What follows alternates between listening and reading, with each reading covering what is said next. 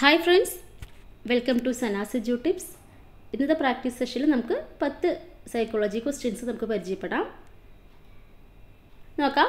According to പിയാഷെ adaptation is the process of adjusting schemas in response to the environment by means of assimilation and dash options നോക്കാം. Schemas disequilibrium constructivism accommodation അപ്പോൾ ഏതാണ് വരിക അപ്പോൾ നമുക്കറിയാം പിയാഷയുടെ theory പറയുമ്പോൾ തന്നെ adaptation എന്ന് പറയുമ്പോൾ അവിടെ രണ്ടെണ്ണം രണ്ട് പ്രോസസ്സാണ് വരിക ഏതൊക്കെയാണ്? അസിമുലേഷനും and accommodation okay option D ആണ് റൈറ്റ് ആൻസർ ഇനി അടുത്തത് നോക്കാം.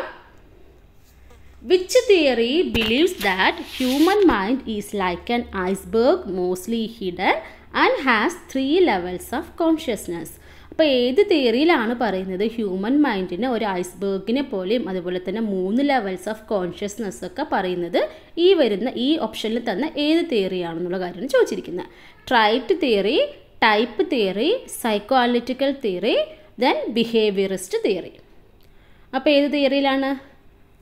ഇതിൽ option D option C psycho analytical തിയറിയിലാണ് Sigmund ഫ്രോയിഡിന്റെ psycho analytical തിയറിയിലാണ് human mind three levels of കോൺഷ്യസ്നെസ്സും ഒരു ഐസ്ബർഗിനെ പോലെയൊക്കെ കാണുന്നത്. ഓക്കെ ഇനി അടുത്ത് നോക്കാം. Children actively construct their understanding of the world is ah is a statement attributed to പിയാഷെ Pavlov Kohlberg Skinner അപ്പോൾ കുട്ടികൾ actively construct their understanding of the world എന്ന് പറയുന്ന ഒരു ഈ ഒരു സ്റ്റേറ്റ്മെന്റ് ഈ പറഞ്ഞ ഏത് വ്യക്തിയുടെ ആണ് പിയാഷയുടെയാണ് അറിയാത്തവരെ നോട്ട് ചെയ്ത് വെക്കുക പിയാഷയുടെയാണ്.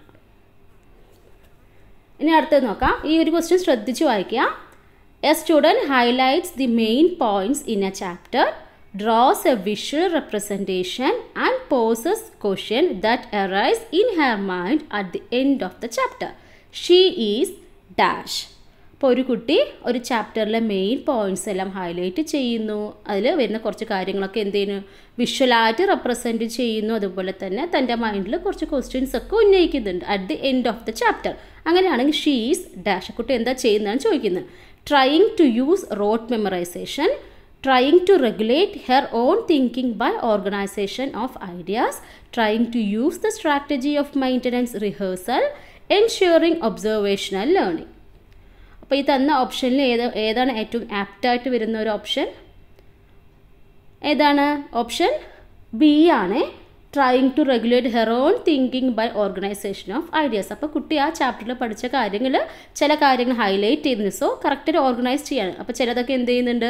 വിഷ്വലായി റെപ്രസെന്റ് ഒക്കെ ചെയ്യുന്നുണ്ട്. സോ അവിടെ തിങ്കിങ്ങിനെ trying to regulate her own thinking സ്വന്തമായിട്ടുള്ള തിങ്കിങ് റെഗുലേറ്റ് ചെയ്യുന്നു. അതുപോലെ തന്നെ ഐഡിയാസ് എല്ലാം കറക്റ്റായിട്ട് ഓർഗനൈസ് ചെയ്യുന്നു തന്റെ മൈൻഡിൽ ഓക്കെ അപ്പോൾ trying to regulate her own thinking by organisation of ideas ഇനി expansion of L A D is dash L A ഡിയുടെ land expansion language abbreviation dictionary linguistic appraisal department learner achievement device language acquisition device അപ്പോൾ L A ഡിയുടെ full form എന്താ? Language acquisition device എന്നാണ് ആരുടെയാണ്? Noam's Noam ചോംസ്കിയുടെ കൺസെപ്റ്റാണ് okay language acquisition device ഇനി അടുത്ത് നോക്കാം. Long term memory is through learning by reading learning by listening learning by multi sensory organs learning by visualising അപ്പോൾ എങ്ങനെയാണ് ഇപ്പോൾ ലോങ് ടേം മെമ്മറിയിലേക്ക് എത്തുന്നത്? അപ്പോൾ കാര്യങ്ങൾ long term memory long term മെമ്മറിയിലേക്ക് എത്തുന്നത് നമ്മൾ മൾട്ടി സെൻസറി ഓർഗൻസിലൂടെ ലേൺ ചെയ്യുന്നത്. അതായത് നമ്മളിപ്പോൾ നമ്മുടെ സെൻസ് ഓർഗൻസ് എത്രമാത്രം യൂട്ടിലൈസ് ചെയ്യുന്നു അത്രമാത്രം ലേണിംഗ് എഫക്റ്റീവ് ആയിരിക്കും അത്രമാത്രം എന്താണ് ലോങ് ടേം മെമ്മറിയിലേക്ക് സേവ് ആവും ചെയ്യും നമ്മൾ നമ്മൾ പഠിക്കുന്ന കാര്യങ്ങൾ. സോ അപ്പോൾ learning by multi sensory organs ആണ്. ഓക്കെ ഇനി അടുത്ത് നോക്കാം. One of the following enhances memory ഇപ്പോൾ തന്നതിൽ ഏതോ ഒന്ന് enhances that means that promote memory എന്നാണ് ചോദിച്ചിരിക്കുന്നത്. റിപ്രഷൻ ഡിസ്യൂസ് ഇന്റർഫറൻസ് മോട്ടിവേഷൻ ഇപ്പോൾ മെമ്മറീനെ പ്രൊമോട്ട് ചെയ്യുന്ന എന്ന രീതിയിൽ വരുന്നതിൽ ഏതാണ്? എൻഹാൻസസ് മെമ്മറി മോട്ടിവേഷൻ ആണ് അല്ലേ? ഓഫ് കോഴ്സ് മോട്ടിവേഷൻ ആണ്. ബാക്കിയെല്ലാം എന്താണ്? ഹിൻഡോസ് മെമ്മറി എന്ന് പറയാം. റിപ്രഷനും ഡിസ്യൂസും ഇന്റർഫറൻസും ഒക്കെ അല്ലേ? അപ്പോൾ മോട്ടിവേഷൻ ഇനി അടുത്ത് നോക്കാം. Concept attainment model given by Skinner പിയാഷെ Bruner Kohlberg important question ആണ്. എപ്പോഴും ചോദിക്കുന്ന ഒന്നാണ്. Concept attainment model given by ആരാണ്? ബ്രൂണർ ആണ്. ഓക്കെ ബ്രൂണർ ആണ്. ഇനി അടുത്ത നോക്കാം. Dash is a scientific process of assistance extended by an expert in an individual situation to a needy person അപ്പോൾ dash is a scientific process എന്താണ്? Of assistance ആണ് extended by ഒരു expert ഒരു individual situation അല്ലെങ്കിൽ ഒരു needy പേഴ്സണിന് കൊടുക്കുന്ന ഒരു അസിസ്റ്റൻസിന് എന്താ സയന്റിഫിക്കലി പറയുന്നത്? ആ ഒരു പ്രോസസ്സിന് സയന്റിഫിക്കലി പറയുന്ന പേരാണ് ചോദിച്ചിരിക്കുന്നത്. കൗൺസിലിംഗ് ആണോ?